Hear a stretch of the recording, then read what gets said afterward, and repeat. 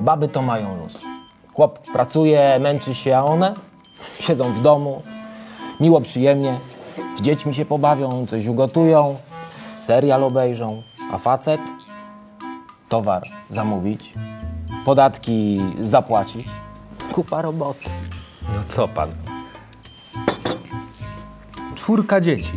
Trzy razy w nocy wstawanie, zmiana pieluchy, karmienie. Pobudka o 6.30.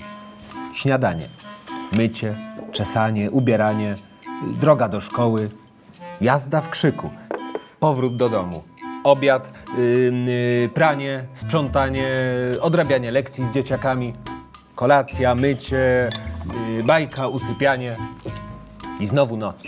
Hmm? Od nowa. Yy, pobudka, dwie godziny snu, karmienie. A jak dzieci są chore, to jest jeszcze ciężej. To są dopiero komandosi. To są bohaterki. To jest nasza armia. Walka o przyszłe pokolenia to bohaterstwo. Zostań partnerem karty dużej rodziny. Twoje wsparcie to wielka rzecz.